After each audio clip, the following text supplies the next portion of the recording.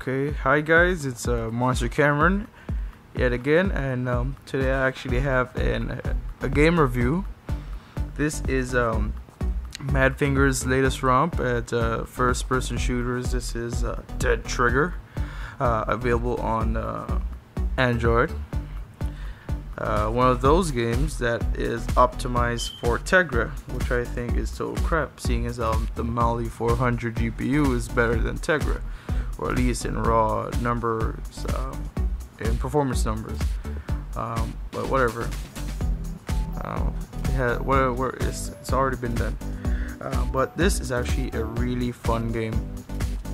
Uh, and it's it has the best graphics of any Android game to date.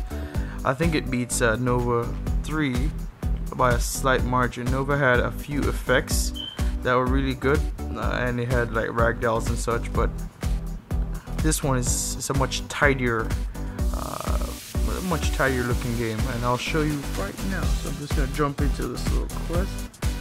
See if I can. I don't have enough cash, so I'll jump into the quest and I'll show you that real quick. I'm gonna try to keep this short because I know uh, I tend to keep my videos a little bit on the longer side. But yeah, this is my Samsung Galaxy Tab uh, 7.0 Plus or 7 Plus, and uh, yeah, let's do this. Uh, it's a little bit hard to do this through the camera. Well, you can see the graphics and lighting effects are really good. Although this is, I think, baked lighting. There are no real-time shadows. this is uh, I would say PS2 quality graphics or 90s PC quality graphics or early 2000s uh, kind of like a serious Sam kind of looking thing no real-time shadows but uh, uh, they got some good um, um, uh, reactionary physics to it wherever you shoot them that's how they react although it's all pre-baked it's not dynamic like uh, the, the Euphoria engine from GTA. But it's still entertaining. Controls are a little bit sticky. But that could just be my my my LCD. And I hope it's in focus. I have the camera on uh, continuous autofocus.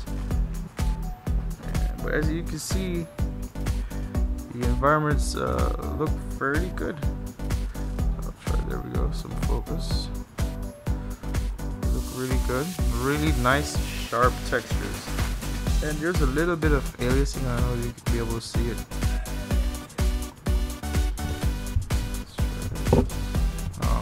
Can't really show you this. But there's a bit of aliasing on, on the, the 3D models. Which is, well, isn't too bad. And right here, this is what really pisses me off. Right here, you'd usually have you'd have the water effects, uh, like you had in Shadowgun, that they claimed only works on NVIDIA hardware. It, it doesn't really add much to the game, except for visuals. No, there's no real gameplay con- uh, uh, factor to it, but it's so such a simple thing they could have added, and it, didn't You know, money really corrupts. Because that could have been added for all, you know, for Power VR, for Mali, and for Tegra, and it wouldn't be such a big deal, but whatever.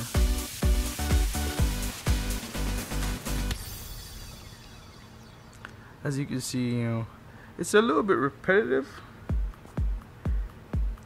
You know, it's a mobile game, it isn't meant to be entirely captivating. This is for like five minutes at a time when you're on the bus so I don't mind it, and it's it's pretty fun for the, five minutes that you're playing it for. It's not gonna be a Left 4 Dead with like a half hour long campaign or, or hour long campaign or whatever. It's just a simple uh, shooting gallery with uh, some nice animations and some really good, uh, damn it, some really great, uh, you know. Oh no, I'm getting surrounded It's really great gameplay for a handheld.